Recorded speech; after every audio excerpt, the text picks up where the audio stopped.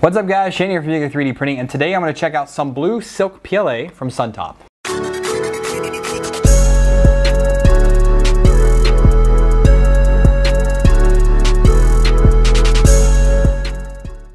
Welcome back guys. So as I said, today we're checking out some nice shiny blue PLA from Suntop. And they hit me up via Facebook and asked if I'd like to check this out. I said sure.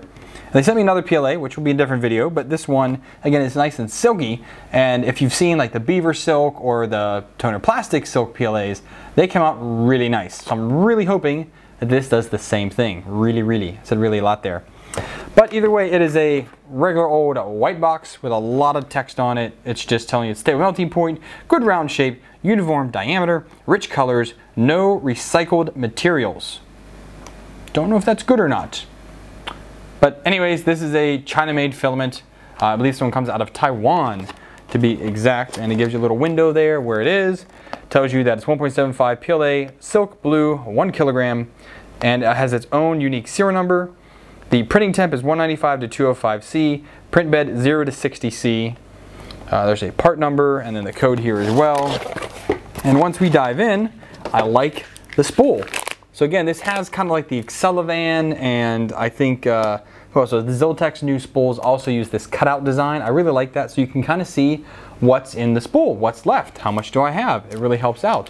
The only thing on here is the same sticker that was on the box and it is a non-resealable bag. So let's get this open up real quick.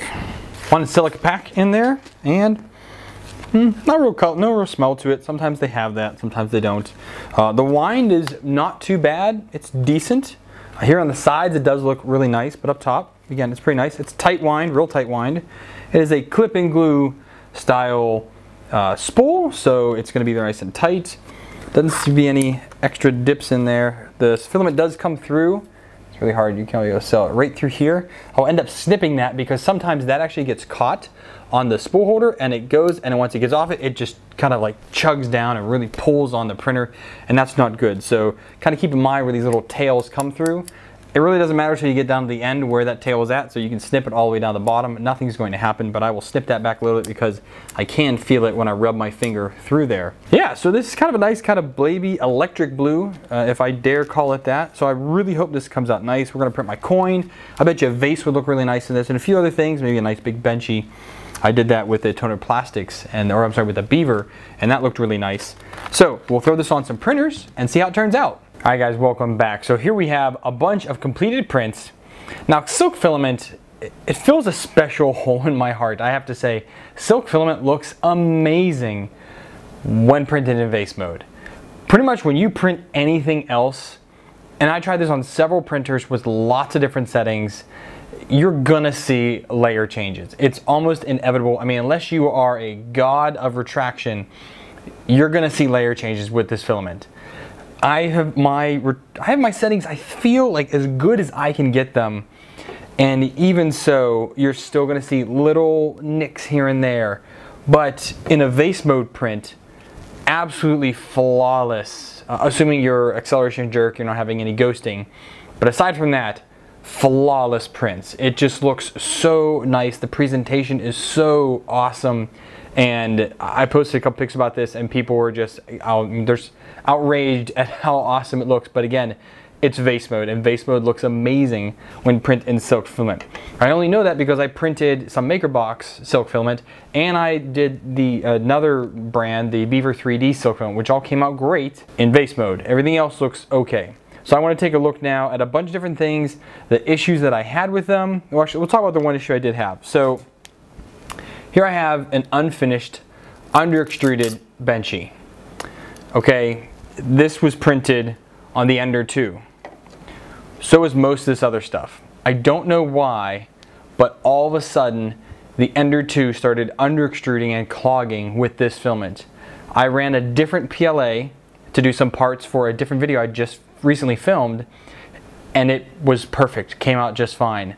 I switched back to this Suntop Silk PLA and it clogged again. I was like, what the heck? So then I put it into another printer, the Geeetech, printed just fine. And then I printed this mini Master Sword. It's about two feet long. This is 45% scale of the model. I printed this on the FT5.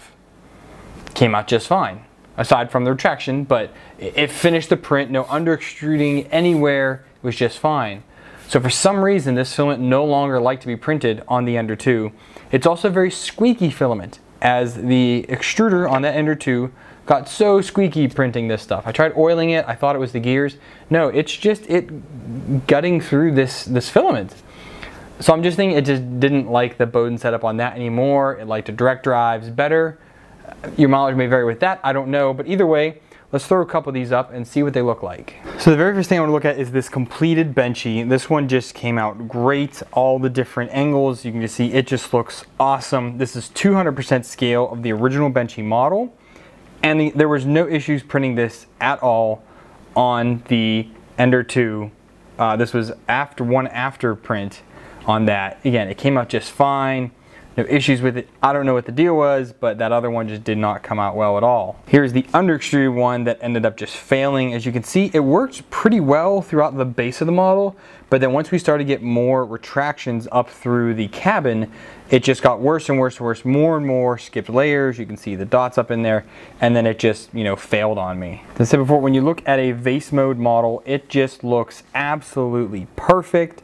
There's no under extrusions anywhere.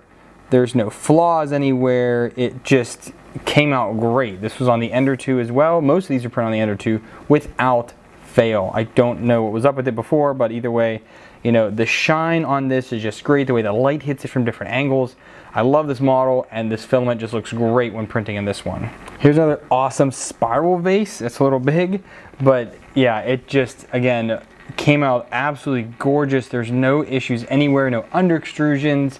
And when it's printed in one solid line all the way through, you can't see any layer changes. It just looks super professional and everything.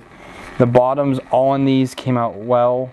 I had them squished down. You definitely had to squish this filament down just a little bit more than usual but there's no issues other than, I mean, no issues with this at all. So this cloth vase was printed on the Geeetech Prusa i3 aluminum right after I did a lead screw upgrade. And as you can see here, there is still some light banding. It's not as major it used to be, uh, as segmented, but now it's still quite there. I need to figure out why it's still doing that. But again, came out great, no under extrusion lines anywhere. First layer, squished down quite a bit on there, but even that is a super matte finish and it came out well and except for the you know banding. One more round one to do and this would be the 3d printing nerd spaceship. Uh, i found this after watching joel's video. I was like man that looks great. I want to print it. And i did.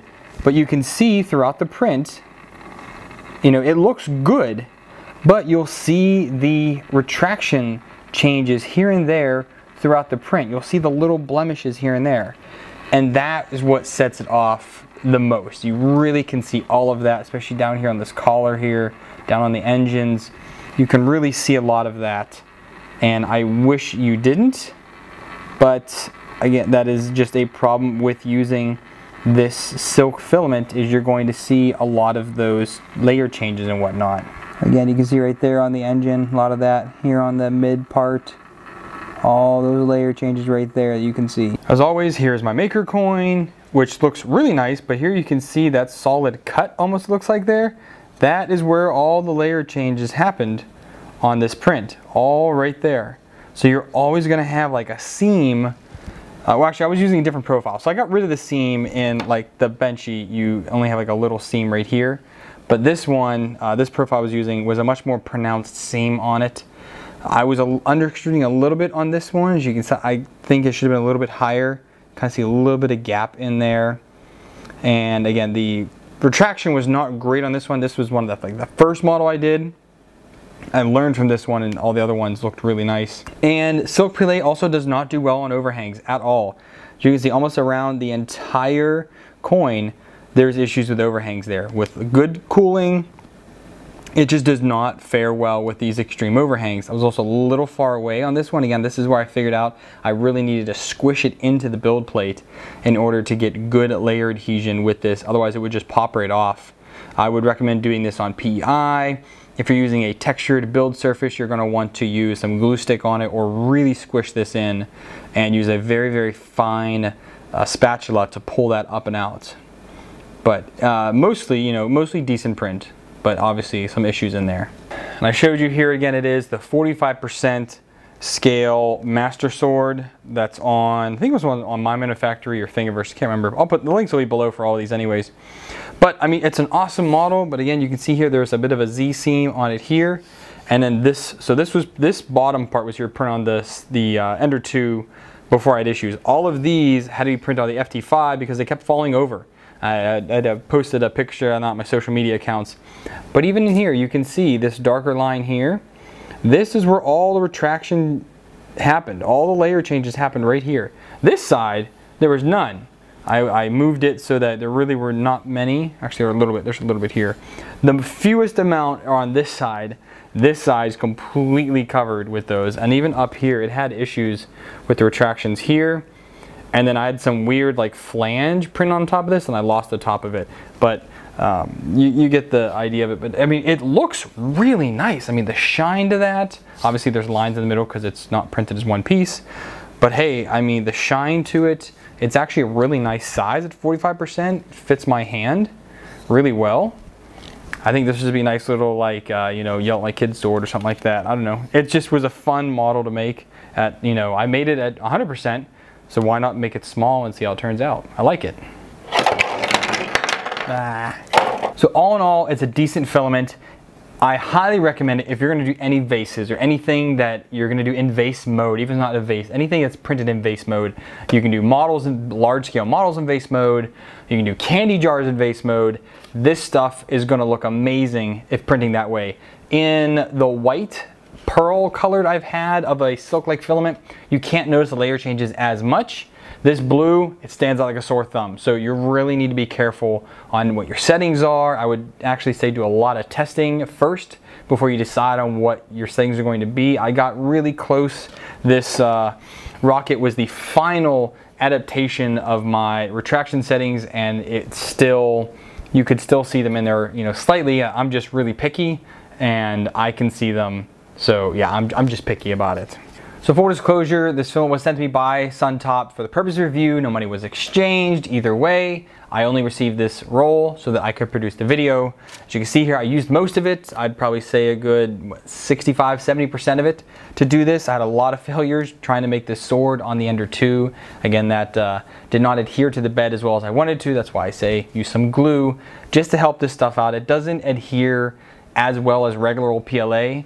So a little bit of glue, it works great then. So yeah, big thanks to them and thank you to you guys for watching this video. And if you found it helpful at all, please give it a thumbs up. If you didn't, thumbs down. Talk to the comments down below. Either way, I'd love to hear from you guys on how to make these film reviews better. Did a little bit changes in here, so I want to hear what you guys think about it. If you guys want to stay in tune what's going on here on my channel, make sure you're a subscriber. And if you want an email notification, make sure you ring that bell and you'll know anytime I upload new content. If you guys want to support me financially, right below is a Patreon link. Doing dollar more monthly, I appreciate that. If you want to do a one-time donation, I have a buy me a coffee or a Streamlabs tip. You can do down there. Or if you just like to do your shopping on any of the big major retailers, please go ahead and use some of my affiliate links down there. I appreciate it. Little slice of what you buy comes back here to help me build the channel. I thank you guys for watching the video. So until next time, happy printing.